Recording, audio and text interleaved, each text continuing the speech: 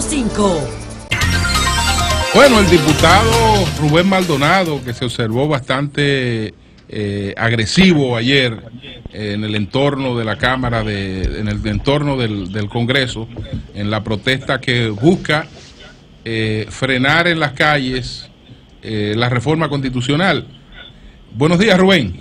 Buenos días, Julio. Buenos días. Saludos para ti, querido amigo, y todos los demás presentes en el programa. Eh, mira, Julio, eh, yo creo que agresivos estaban los que tiraron bombas, dieron palos y sacaron pistola. No, no, no, no cambiemos el, Bueno, pistola, el- la, la mentalidad. pistola, pistola, porque ahí hubo la bomba lacrimógena, pero no hubo tiros, es decir, eh, eh, de- de- no, eh, es otra cosa, ¿no? Lo, lo golpearon que hay ahí, no lo golpeó, lo, no Bueno. lo golpearon. Lo que tenían, la única arma que tenemos es la palabra. Y no creo que con eso haya morido nadie, llamando a, a que se Bueno, respete la constitución. Pero, pero, Para pero, que se- pero- si pero- calificativo pero vamos a cambiarlo. pero, diputado, coger por el cuello a un policía y cuando No, se para un trompón, eso también es otra cosa. Sí, pero asume cómo fue que llegó hasta ese extremo. Es decir, Sí. hasta ese extremo llega cuando él sale a pedirle que por favor dejen a esos jóvenes. Y la actitud de ellos fue agredirlo. Y si no es porque otros diputados intervienen, ya tú sabes lo que se ha pasado con él. Rubén. Además, un diputado que lo que mide son cinco pies. Tú vas- vas- vas- vas a pelear con esos Bueno, eh, energúmenos que estaban ahí.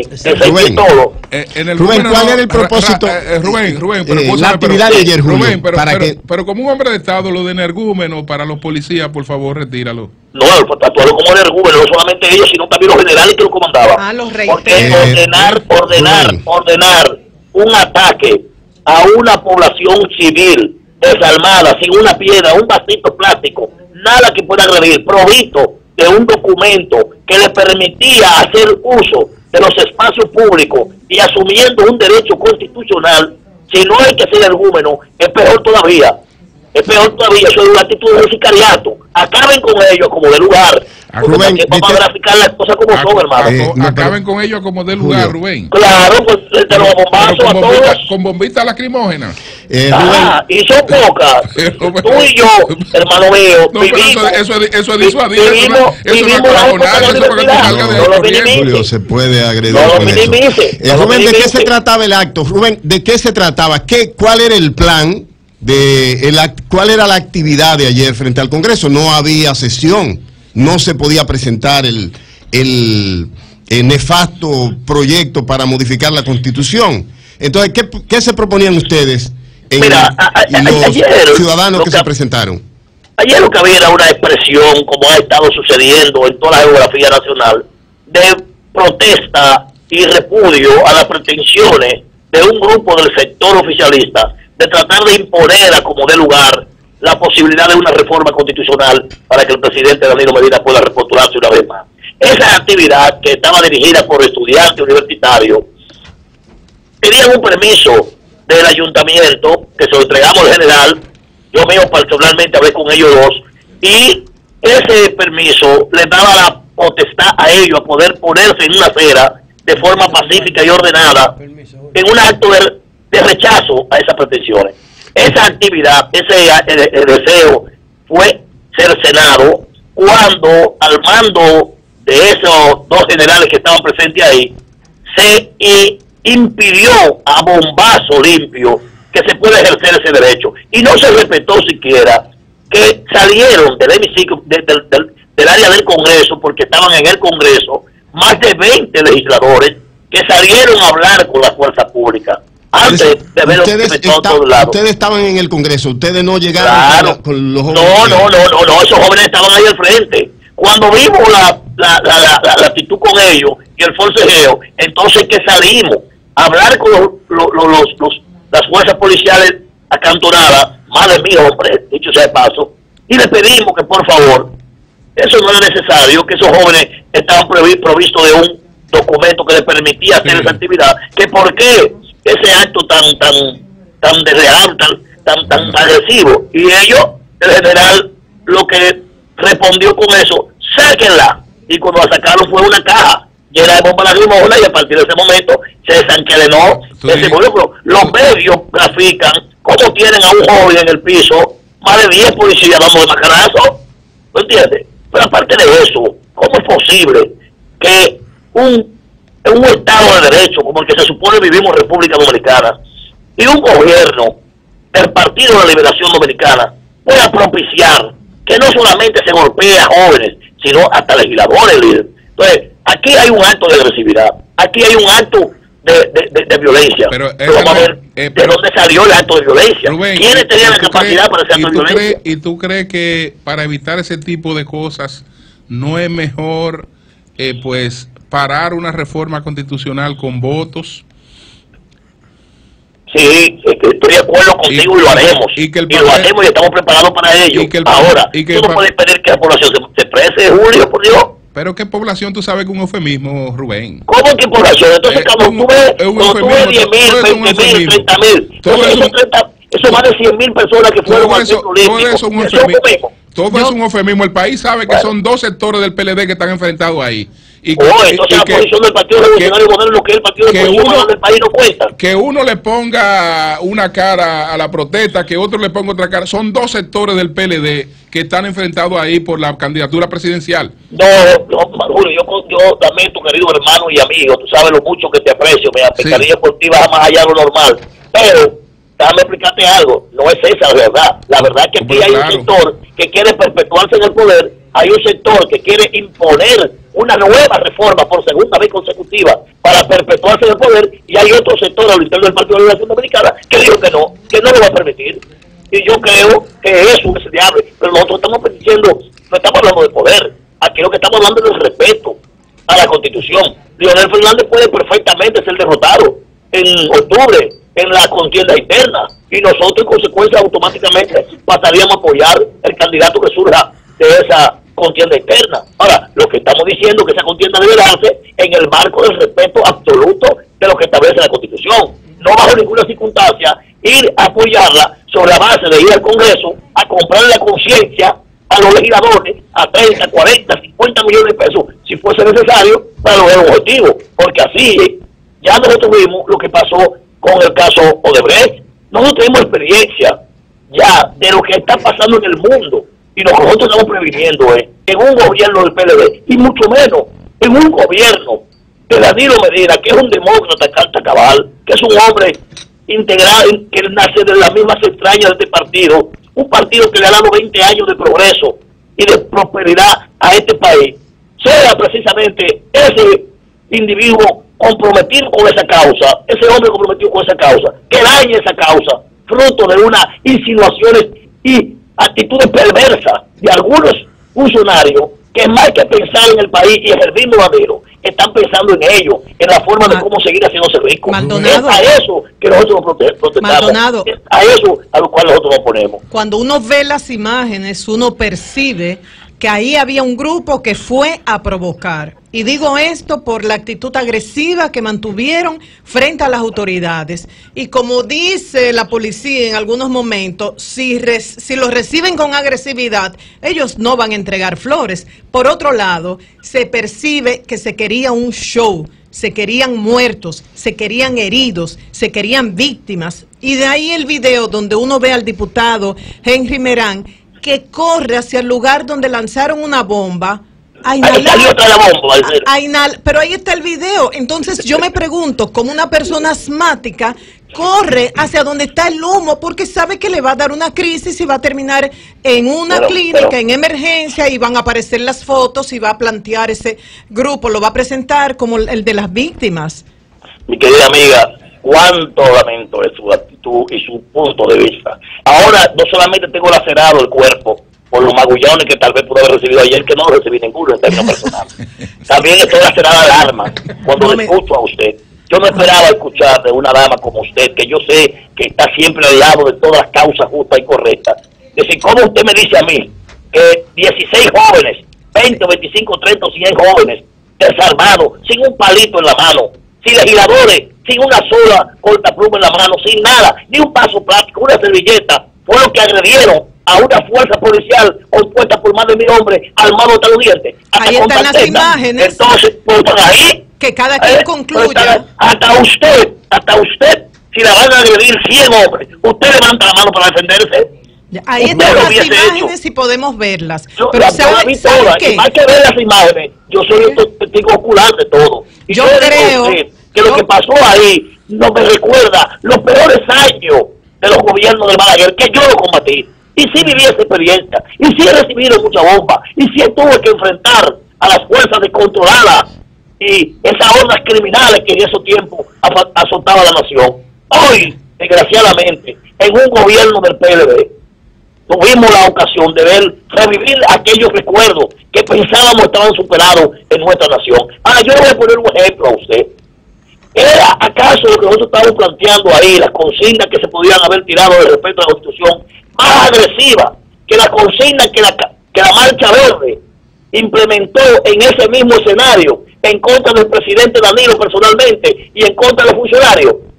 con caricatura hasta de gente encarcelada y vociferando todo lo que llegaran. Y ahí no llegaron nunca a ese extremo. Y sin embargo, por estos jóvenes pedir solamente, conjuntamente con un grupo de diputados, que se respete la constitución, que no se modifique para permitir un nuevo periodo, llegar a ese extremo. Entonces usted me dice que esto estuvo correcto porque estábamos en la constitución y aquello que tampoco hubiera sido correcto y hubiera sido recibido repudio, nunca se hizo. A la Marcha Verde se le respetó su espacio y se le permitió poner su carpa y se le permitió hacer su protesta de una forma pacífica. Y lo hicieron. Y dijeron cuántas cosas ustedes imaginan en contra del gobierno, cosa que yo rechazo y que no estoy de acuerdo y no le pasó nada. Rubén. Y sin embargo, a estos simples infelices ciudadanos, muchachos jovencitos, partir el brazo, como hay algunos todavía en, el- en el señor control internado, partir el brazo, agredirlo, a bombazo y a macanazo. No. Yo no, creo que ustedes no, subestiman no, la no, inteligencia de la población. no, no, oiga, usted- sí, sí, no, no, no, porque, no, no. oiga, No. uno no puede hablar de pueblo cuando se busca un grupo de militares para decir que están defendiendo la constitución. Uno no puede hablar de pueblo cuando se busca un grupo de motoconchistas para decir que están defendiendo la constitución. Aquí definitivamente están peleando por quién va a ocupar esa posición. Están peleando por el poder. ¿Y quiénes pierden más? Quienes deben tener lacerado cuerpo, mente, alma, espíritu, todo, son los PLDistas porque se están autodescalificando para llegar al Palacio Nacional. Porque No, no, saben dirimir sus diferencias si no es por la fuerza, por la violencia, y así no se puede. Y el Querida pueblo amiga. sí rechaza eso. querida y respetada amiga, una vez más lamento el sentido de su posición, no es así. Aquí quien está lacerado el alma es el pueblo dominicano. Nosotros no solamente que somos una expresión de esa realidad. Yo voy a entrar ahora al Congreso. Está coronado el Congreso. Yo tengo dos horas de vuelta, yo voy a entrar. Aquí hay más de 10 mil, de, de 2.000 militares. Yo quiero preguntarle a usted, No, 10 mil no, Ese- no es- Yo creo que no hay- en el ejército no hay 10 mil. Más de dos mil. ¿Cuánto hay Aquí ahí? hay dos mil. Hay dos Ah. Y los Aquí barrios hay en dos manos de los vándalos. Lo elevó a la Es a- ¿Cómo es posible? ¿Cómo es posible? Los barrios, los, Es vándalos. ¿Cómo es posible? Sí. Usted quiere, si usted quiere, yo puedo parar y tener un video porque tú ves que ahora mismo. Es decir, ¿cómo es posible decirme, yo tengo dos vueltas y no sé por qué entrar? Porque, simplemente porque unos jóvenes quieren venir a decir frente al Congreso que no quieren una nueva modificación constitucional. Mire, supóngase que no tienen razón. Supóngase Rubén. que son una minoría. Rubén, Pero José si fuera quiere así, hacerte una pregunta. Hasta las minorías tienen, tienen, tienen derecho. Rubén, José quiere preguntarte te algo, José te pido- Mira, José, hermano. Te pido el siguiente discurso y te- le doy paso a José. Que, vuelva, vuelva, vuelvan do- donde ese grupo cuando se manifieste hoy. Que se va, dile, váyase tranquilo a su casa. Que nosotros vamos a derrotar la reelección con voto. Y la vamos a derrotar. Bueno, pues perfecto. La van a si, la van, derrotar. si la van a derrotar La con voto, derrotar, ¿eh? entonces. No te duda, Julio, eso, ¿eh? entonces, no, no, no, pero, pero, pero perfecto. Entonces, que eso se dirima en el escenario que la democracia ha creado para Y lo vamos a. Congreso. Si se la autoridad debe estar en los legisladores, que fue lo presentarla, que la el pueblo vamos a votó, derrotar. no fueron los policías que estaban ahí. Ellos debían La vamos a Ay. con los votos del PRM y Perfecto. los votos de las fuerzas aliadas que están en contra y Perfecto. los votos Pero del entonces- sector de Leonel Fernández. Es decir, la constitución no puede ser un instrumento de lucha Entonces, partidaria de ningún partido. Descarten el camino callejero. No, no. al Congreso. Eh, pero el que me ha indicado para decirme, tú bastante, bastante lucha que hiciste tú en la calle en el pasado. bueno, pero, José. Bastante lucha que reivindicativa Vamos a en con este ese país. Pero- bueno, José, adelante. Bueno, eres un símbolo, Rubén, tú eres un símbolo de lucha en este país, Julio. dos preguntas, Rubén. La primera es, eh, sí, saludos para ti. La primera es, Ah, tú, entre los argumentos, eh, ahora en tu participación, citaste el tema de la compra de legisladores. Hablaste de 30, 40 y 50 millones. ¿Tú mantienes eso y tienes algún argumento que lo sustente? ¿Tú conoces de alguien que le hayan ofrecido dinero directamente en la Cámara, algún legislador o legisladora? Vuelvo y te repito, eh, cuando te dice esa observación, te dije que esos son los comentarios que circulan en el Congreso Nacional. Ahora bien, ahora bien, todos sabemos que en hace dos semanas muchos legisladores del mismo Partido Revolucionario Moderno habían dicho públicamente, y algunos están en las redes, que habían sido tentados, que habían sido llamados. Ahora, si tú me dices que a mí, Rubén Maldonado, lo han hecho, te digo que no, que nunca en la vida.